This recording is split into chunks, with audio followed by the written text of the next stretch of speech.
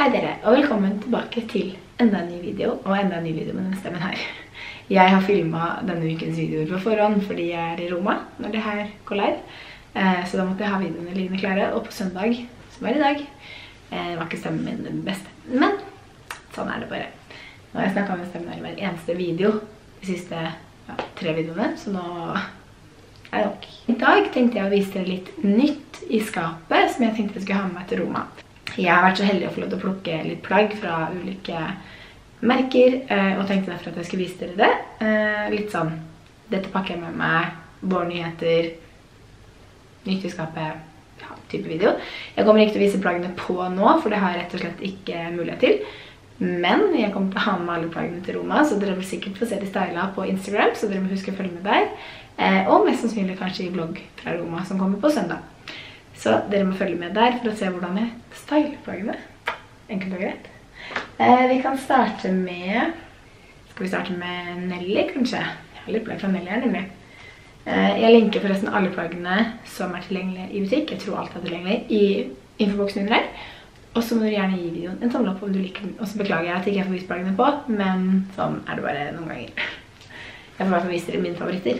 Ok, første plagget fra Nelly er den her hvite blusen, som er ganske gjennomsiktig, sånn puffermer med sånn, ja, V-hals. Den synes jeg var sykt fin, og tenkte å style den med den her buksa, som er sånn paper bag waist, ser det litt ut som. Høy på livet, og ja, litt sånn slengbukser. Ikke sleng, men vide bukser. Bein. Så jeg tenkte å ha den sammen med da den blusen oppi. Og med superfine til. Jeg har gått helt dilla på sånne her type veskestiler. Jeg måtte ha plastikken her, men jeg synes den var så fin. Litt plastikk, men den er jo shiny sånn lakk, så jeg synes den var veldig kul. For å få litt farge. Og så har jeg også plukket av sneakers, nemlig de her. Og de kommer til å bli så deilig å ha i Roma, og så digg å gå rundt i. Jeg synes de var så fine med beige detaljer bak her. Ja, superkomfortable, vil jeg tro. Og så plukket jeg også opp den kjolen, som jeg også tenkte at var veldig fin til sneakers og den lyser på veska faktisk. Så søt, superfine farger. Altså det kommer til å gå mye i beige og lyseblått, ser det ut som. Pastellfarger generelt den, på den turen her. Men ja, jeg har plukket opp alt i størrelse 38 eller small, og skoene i min normale størrelse. Så det var det jeg plukket opp fra Nelly. Som sagt, om du vil se meg style det, så må du følge med på Instagram. Instagram. Kus. Ok, nå et par ting fra Kubus. Der plukket jeg også opp en kjole, som er svart faktisk i basen, noe jeg ikke plukker opp alt for ofte, men jeg synes den var veldig, veldig fin i modellen. Eh, lange ermer, litt lang lengde på den. Jeg tror den blir superfin å vandre rundt i rommet med. Så fin. Perfekt å være der nede. Og så plukket jeg opp en gul bukse. Jeg trengte litt andre farger. Som jeg tenkte at jeg hadde lyst til å style med denne høyhalsa genseren. Som har litt striper. Så fin. Så det er to. Og den her, som dere nettopp så i min styling-video, eller jeg vet ikke hvilken video som var først, men den her, cargo-buksa, som er sånn her nede, og ganske høy på livet, med et belte, veldig sånn behagelig materiale, det er egentlig sånn bukse jeg kunne reist i.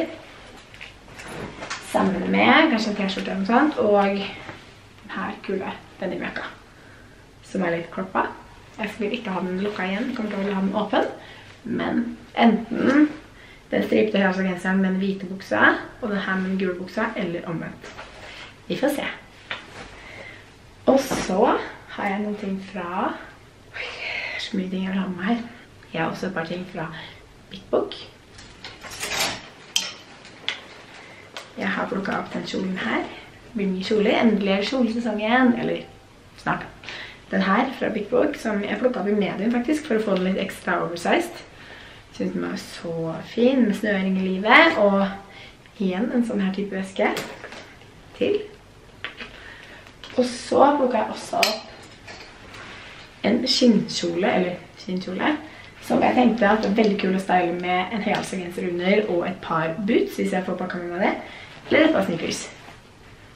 Til da vår. Eller bare som en jakke egentlig over en jeans som tørste. Kan også være veldig, veldig kult. Jeg har også lyst til å vise dere et par ting til fra Lindex som jeg har plukket opp fra deres online eksklusiv kolleksjon. Og det er to kjoler. Først er den her, som er en lilla lys sånn lavendel kjole, som er ganske sånn løs. Den blir også helt perfekt der nede, og superlett å bare slenge på seg med et par sko og en fin veske. Og den her blå kjolen. Også fra Lindex, online exclusive. Litt mer innsvinga i livet, veldig fin lengde, fine ermer, fin farge. Så den skal også få lov til å være med. Jeg har også noen plagg fra Naked som skal være med, men det kommer en egen Naked Haul som kommer neste uke, så det får dere se da.